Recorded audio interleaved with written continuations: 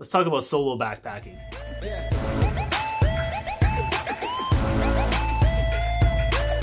Welcome back, guys and gals. As always, my name is Matt. If you guys are new here, this channel is all about hiking and backpacking.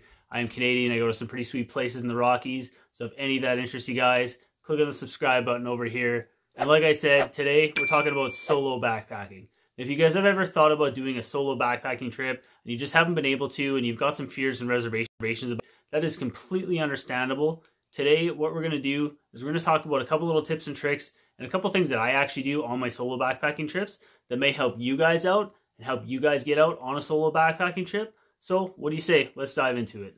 The first thing we're going to talk about directly relates to your gear.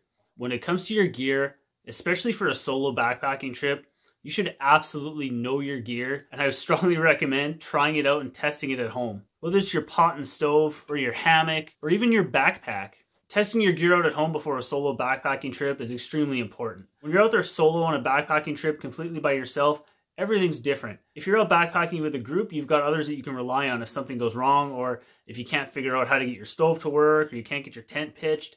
But when you're out backpacking by yourself, the only person you can rely on is yourself. So when it comes to your gear, making sure you know how to use it is extremely important.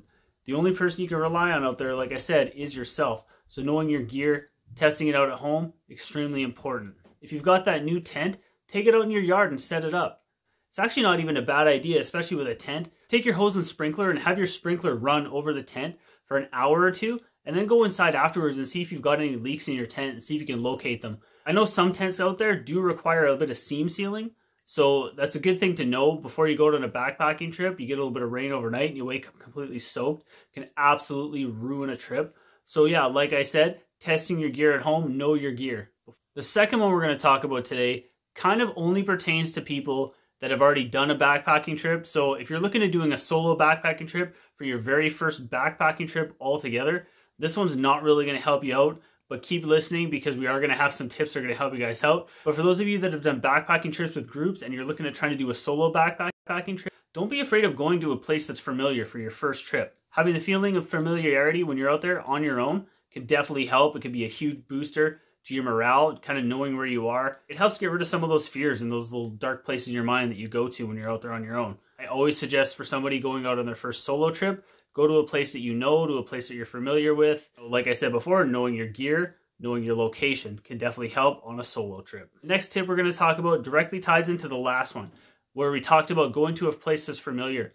Now, when you go to that location, you have that location picked out, leave a detailed itinerary with somebody back home like a friend or a loved one, you know, your husband, your wife, your spouse, your best friend, whatever. I guess this kind of goes as general, just general backpacking advice. So this isn't even just solo backpacking trips, but it's a good practice to follow for any backpacking trip you do. And this is what I do is we have a like a whiteboard on my fridge and I leave my detailed itinerary with my fiance. I just write down on the whiteboard exactly where I'm going, where I'm going to be each night having one or two people that you can leave a detailed itinerary with. You're going to be staying each night on your backpacking trip. It's nice peace of mind having somebody back home know where you're going to be. If something goes wrong, they're going to know where to send an SAR crew to help you out if necessary. And directly tying in with that, mentioning an SAR crew or search and rescue crew, if you didn't know what that one meant, carrying a device like this.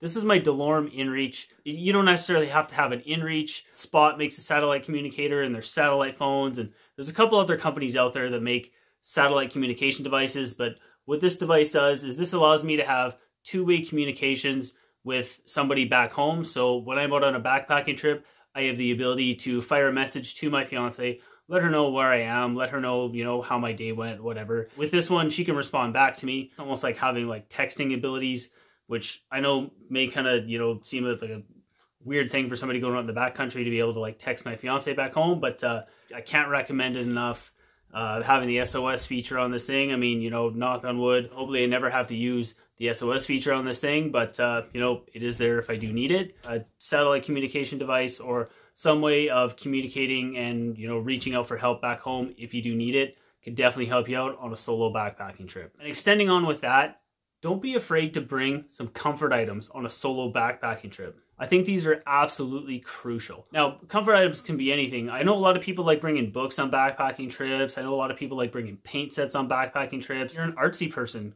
go out there and bring a paint set, you know, find a, an awesome spot to camp, set up, have a little paint session. Myself personally, what I do, I bring movies with me when I go out in the backcountry. And this isn't just solo trips. This is all my backpacking trips.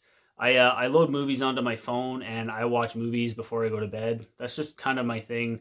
It uh, I don't know. It, it helps me relax. It helps me sleep. I'm not really much of a reader. I, I, I don't really enjoy reading books. So uh, yeah, I bring movies with me as a comfort item. That might help you guys out too. Maybe bring some movies on your phone to help yourself chill out. If you're having a hard time sleeping, just pop some headphones in, throw in a movie. It works for me. And as I'm babbling on here, if you guys have any other tips and tricks for solo backpacking or any kind of backpacking tips and tricks that can help people get out in the backcountry and alleviate some stress and get rid of some of those fears, drop them in the comments down below. I'd love to hear your guys' thoughts on this one. If you're looking at getting out into a backpacking trip and looking for some tips and tricks on maybe some gear to carry in your backpack, or if you're looking to drop some weight in your backpack, what I've got up here is a playlist full of a whole bunch of weight saving backpacking tips for you guys. So when you guys are done watching this one, head on over and check that one out.